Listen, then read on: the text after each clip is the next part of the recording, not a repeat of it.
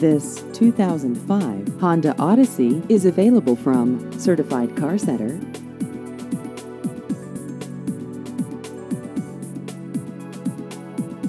This vehicle has just over 94,000 miles.